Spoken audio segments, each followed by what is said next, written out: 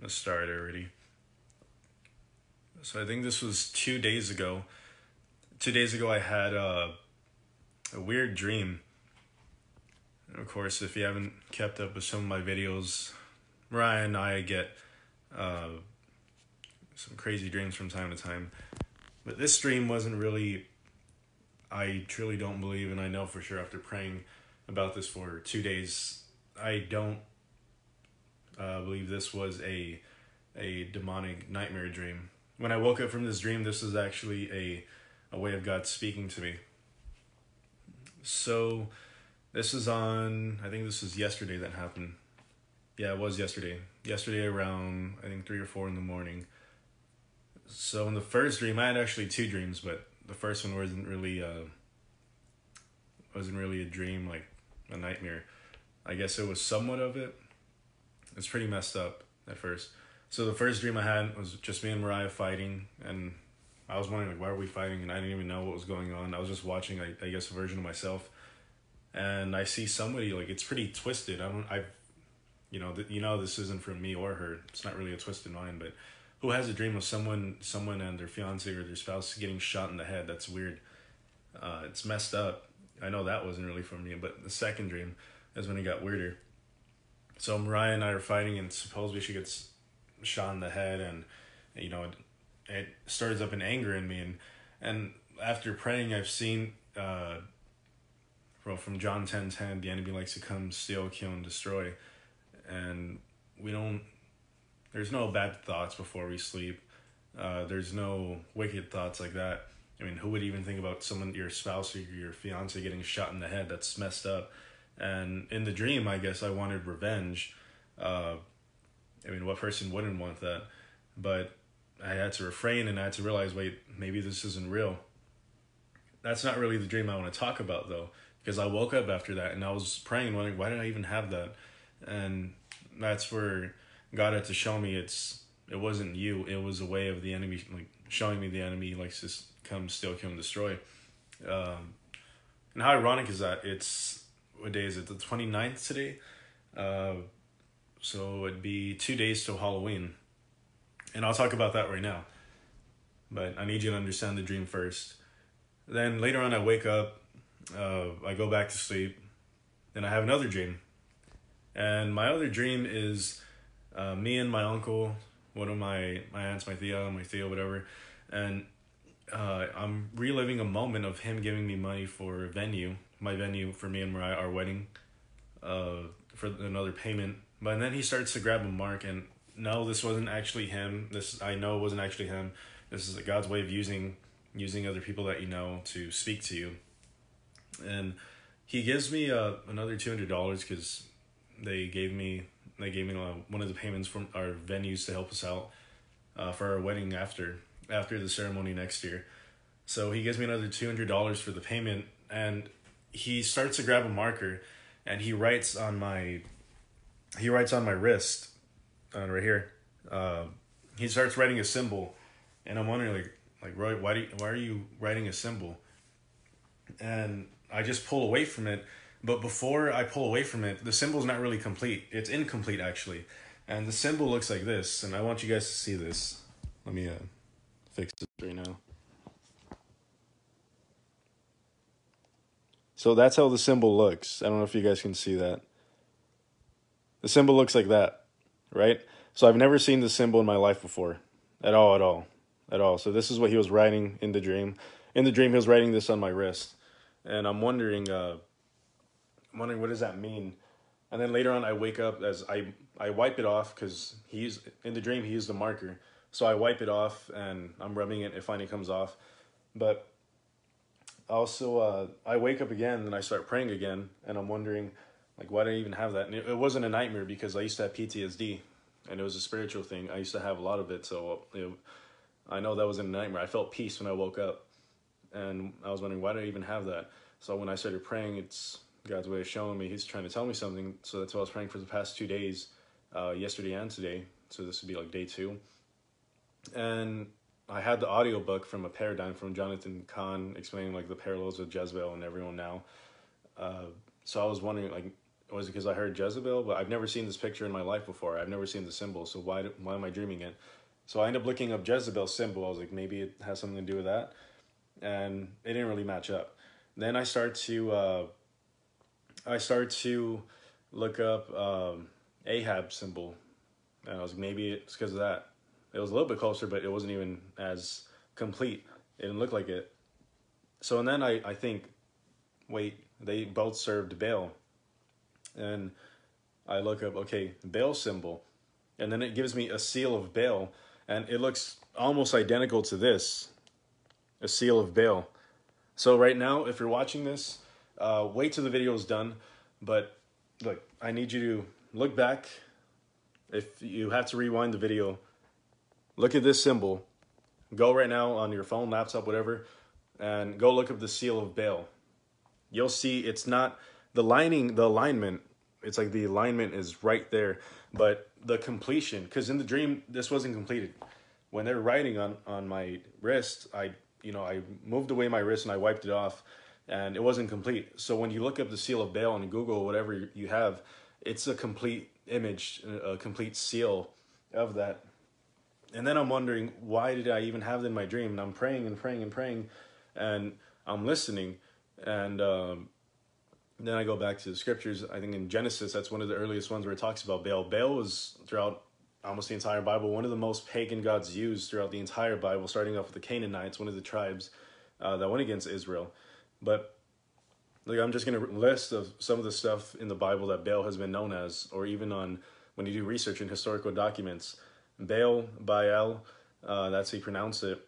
Uh, he was his name means owner, lord. So you know, uh, and no, he's a he's not uh, he's not a he's a like with a little L. He's a false god. So this is what all the other Canaanites or all the other tribes that went against Israel would worship, or sometimes Israel would allow this person or this false pagan god. So they would they used to call him the, the universal god of fertility, the Lord of the earth, the Lord of rain and dew. They used to call him the storm god. They used to call him the Lord of heavens. They used to call him the sea god. They used to even call him, um, they used to have his temple, his false altar next to Dagon, the fish god back then, uh, during the time of Samson. And even uh, Baal was even known as Zeus, the the god of heavens, you know, Zeus from mythology. So you see, uh, compared to other gods, the, the false gods with a little g, in the Bible, Baal is one of the most ones that they, they make examples of. And Baal always keeps on coming back into the picture, taking different forms. But we all know that who takes different forms, and that's uh, Satan, the devil, the enemy. So I'm wondering, why do I have this? And then I look back and I had to pray before even making this video. And I see in uh, Revelation 13, of course, we're in the last days. I always mention this in all my videos. So in the last days, there's going to be a falling away of the elect, but also a restoration for uh, for other believers. So this is where God's going to separate the the gray and he's going to separate the black and white. There's not going to be any more gray areas. You can't be a lukewarm Christian during the, these last days where God's separating it. He's dividing it with the sword as Jesus said he didn't come to to bring peace but to divide with the sword. When he meant divide, he's going to divide his sheep, the people who want to follow him because they love him compared to the other people who say that they want to follow Jesus and yet they don't. So when in the last days where there's going to be a division of black and white, you're going to either be all out all out for God, like you're gonna be all out, like you don't want to be a part of Him, and you're gonna be all in. There's there's one or the other, black or gray. There will be no gray areas as the time gets closer to Him coming back. So when it comes to that seal of Baal, that image, as I saw it and looked it up and started going into more research, started praying, started looking more scriptures with Baal, and he's one of the most pagan gods that still lives on and takes different forms. Then who's to say he can't take different forms of our culture and of we what we've shifted if you go back and look at Jonathan Cahn's videos, his explanation of the paradigm when the worship of Baal still lives through abortion, the worship of Baal still, you know how they had it back then in the times of Jezebel, where they would sacrifice kids, babies, children to Baal, to Moloch, and were different forms of Baal, building altars and worshiping him. And a lot of people think worshiping and bowing down is literally bowing down. You know, you can bow down with your life, your words, your decisions, what you do. So who's to say you're not bowing down when it comes to abortion? And I'm not trying to make it politically correct, but my, my point is there's a Baal mark. As in Revelation 13, it says in Revelations 13, um, I think this is after maybe 15 or 16. I'm not sure with the specific verse, but just go around from 11 to 16 or around there. In Revelations chapter 13, that there is uh, one of the verses says in the last days that we'll receive a mark for the ones who choose it. I mean, there will be no more forgiveness for it because you have that mark either cut on your uh, on your right hand, your forearm, or whichever, or on your forehead. Um, and I'm not saying that this is the exact mark. I'm not saying that. I'm saying there is a spiritual mark already going around as and as Baal represents Satan, there is already an antichrist spirit throughout the entire Bible. Paul talks about this. They most of them talk about this. In Thessalonians, it even says, aside from the antichrist being a uh, a spirit, yes, it's a person, but already with this symbol that I've never seen in my entire life, just look up the seal of Baal. It's a complete symbol. This is an incomplete because I pulled away my hand before as we see many lukewarm Christians taking that mark every single day, submitting and bowing down to not not the uh, the worship of Baal, not just that, but the ideology, the mentality of Baal, and and a lot of people take that mark that mark every single day. Uh, they they get that mark sealed upon them when they compromise, when you act in gray areas, when you're lukewarm, when you want to play Jesus for a bit, but then you also want to play part of the world, when you act in that way and you don't apply any of the scriptures to your life. You can quote them, you can share a bunch of Facebook quotes and all that, but you can't apply any of that. So then you'd rather receive the mark once in a while. And you you always allow Baal or allow whoever to mark that, that seal of Baal on you. When, you know, in, in, in the entire Bible, where God even has in the last days, I think it's in the beginning of Revelations where God seals, He puts a seal on us, and that's salvation. When He has a seal on our forehead, that's salvation already. The enemy likes a copy, and John 10 10 likes to steal, kill, and destroy. You're always going to be hearing that from me. But when he likes to steal, kill, and destroy, he's the enemy likes to he likes to copy the way God is. He likes to mimic him. He's an imitator because he has no patterns that match him up. And as I've read Jonathan uh, Cahn's uh, his seen his videos, read some of his passages or, or part of his the information from his books, Irvin Baxter. And when I've seen John Ramirez, a spiritual warfare leader, a pastor that used to be an ex Satanist, when I was reading one of his books, I was actually on the section, I think chapter eight or nine, that the enemy has patterns. He's not even an original person. He has patterns that he has to repeat. He's repetitive. He's real repetitive. Unlike God, God has everything original. So when you have repetitive stuff from the enemy and stuff like this, it's history repeating itself as they've talked about in, since Genesis in the Bible, since the majority of, of the entire Word of God. So people are taking that mark every single day when you bow down with your mentality, your life, when you make everything politically correct, when you try to go all that. We're not trying to be politically correct. We're not trying to, when when Christians say certain things, we're not trying to uh, to make it about ourselves. We're trying to either warn you because every time someone says "woe" in the Bible, any one of the prophets or the disciples, when we say woe, W O E, woe means judgment is coming. And it's always a word of encouragement when I say that because you don't have to live like that. You don't have to go through any more depressions. You don't have to take this seal.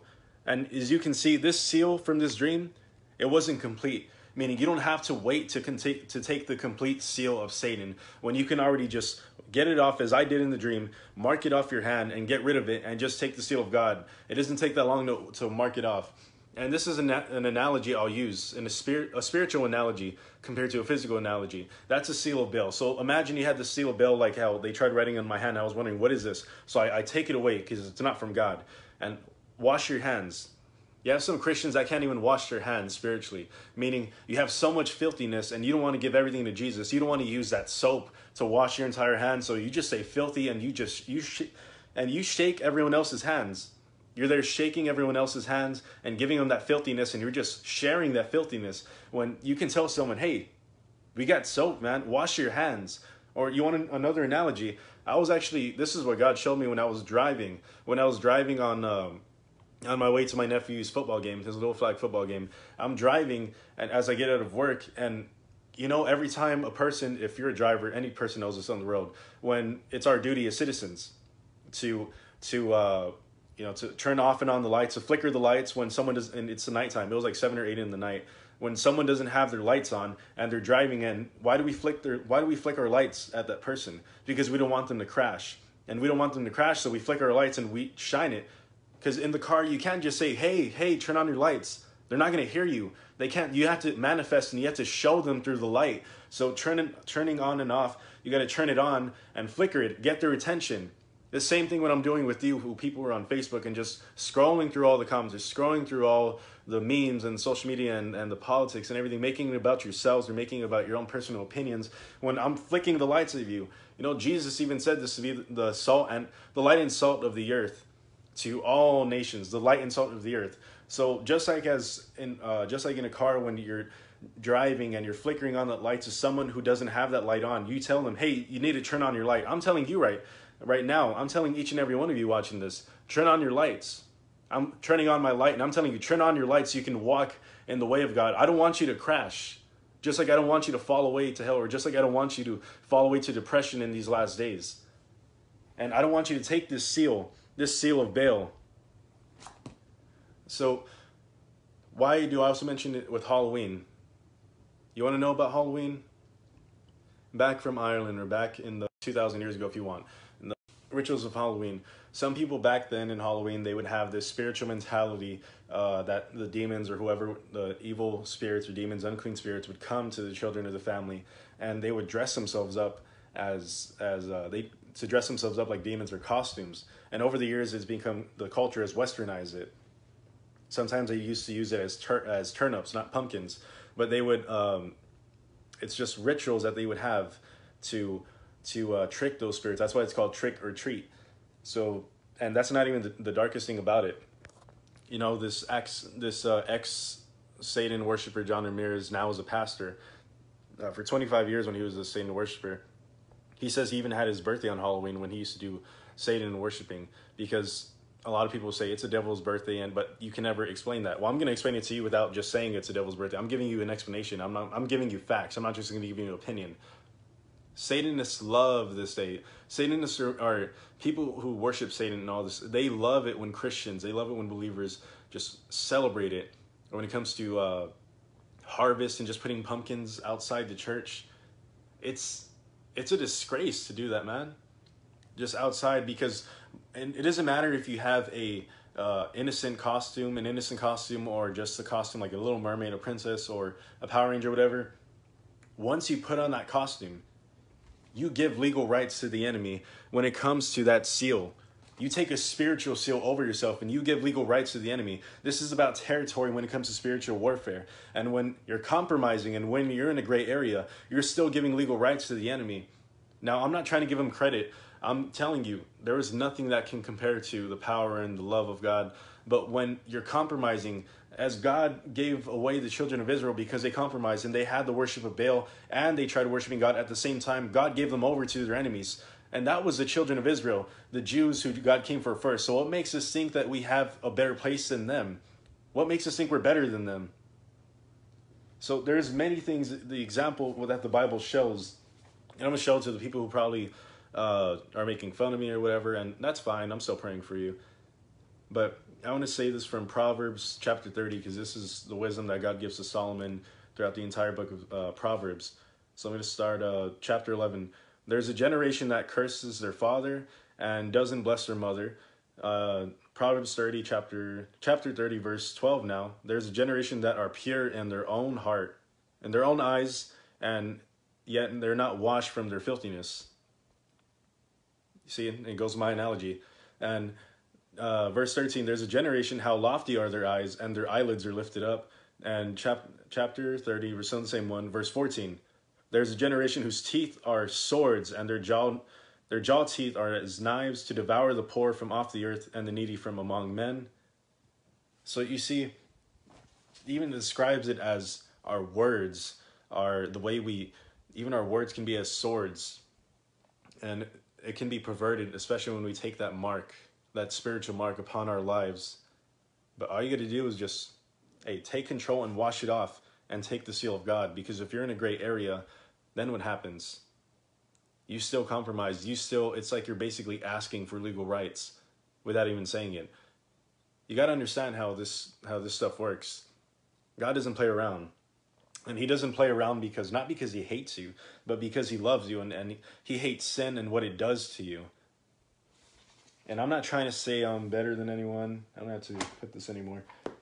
But I'll leave you with this, especially for these last days. When it, when that time comes, you know, in Revelation chapter 13, verse 11, uh, it describes the Antichrist, it describes the enemy and coming in the form of a lamb. We know Jesus as the Lamb of God, but it says in Revelation 13, chapter, chapter 13, verse 11, as the enemy comes in the form of a lamb, but speaks like a dragon.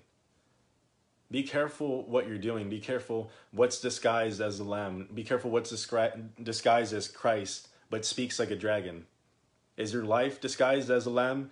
And are you speaking like a dragon? Are you living like a dragon? And are you disguised like a lamb? So I ask that you not just try to only hear because I'm saying it. I say you just pray about it before even saying anything. And I think I should end off that video because I have to wake up early. And to be honest, I and I'm not gonna say that I keep everything on on check. Uh, today and at work or you know today I, when I had to pray, sometimes I feel like I'm too casual. Some I feel like I'm too casual sometimes, and I need to pray more. And you know, some people would think I pray a lot, but you know, you can never pray too much. We should focus on praying, and not because just a casual prayer, like all right, uh, just to pray like for five ten minutes and then just head off without your day. I'm saying take time with God and get into His presence because it's extremely important. And the more you get into His presence, that's the key to getting through all of this. The more you get into His presence, the more you know Him, the more you're always around Him. You just want to be like Him. You just want to serve Him. You just want to just be a servant. You know, when we get to heaven, He's gonna say, uh, He's not gonna say, "Well done, my beloved." Um, uh, apostle, prophet, pastor, whatever. He's going to say, Well done, my beloved servant. So I'm not saying this out of anger to be making myself better than you guys. I'm saying this because we're all supposed to be servants to one another. So I'm here to serve you and I'm here to help you. And just like I know you guys would probably help me in other situations, well, I'm helping you for your soul. And I'm helping you by giving you something that God would want to share with everyone, not to just keep to myself. It's like a cure for cancer. And I see so many people with spiritual cancer and physical cancer you know what they both have in common is some of them don't even want to get help. Some of them don't even want to fight anymore. And it's a sad thing because I know some people on both sides, on physical and spiritual cancer, and it, it really hurts me because sometimes I have to get up in the middle in the middle of the night and pray for them. But there's only so much. Yes, the prayers are powerful, but everyone, just like how God says, everyone has to work out their own salvation.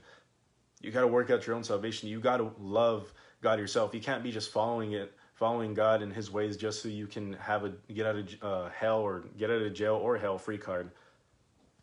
So I'm challenging you, whoever's watching it, to either share the video, hate me, all right, at least tell me to my face. Don't be hiding behind the screen. You know, tell me in person if you want to talk and have some civil dialogue, or if you want to, uh, if you want you want any questions answered, whatever. And if you're gonna ask me something, please, if you actually have a question, I've had so many people that and I'm not going to call out anyone. I'm not going to call out anyone's name. I'm just going to say a random person that uh, supposedly, I'm not even going to say the title that they are in the church. I'm just going to say this random person that has asked me questions that they know the answer to. Why are you going to ask me a question? Don't be trying to test me, man. That's that's stupid. I don't want to be tested. I'm trying to help. Uh, I want to be there to serve. I'm here to serve you guys. I'm not here to make myself smarter or better than someone else. So, um, you know, if uh, you want any if you want any of us to pray for you, or you, if you still need a church, or if you still need anyone else to uh, answer your questions or whatever, you don't always have to go to me. We can refer you to someone else. You can come to me directly. If you just want to talk, you just want to chill or hang out, that's fine. But I need to go to sleep because I'm waking up early tomorrow before class, and I have to finish writing uh, or typing out an essay on the existence of God for philosophy. I, it's a dumb thing. If I were to do it on my terms, oh my gosh, it'd be awesome. Doing like Jonathan Connor, Irvin Baxter, but I can't. So I have to do it on the professor's terms. So that's pretty tricky. So yeah, pray for me on that. But, good night, guys.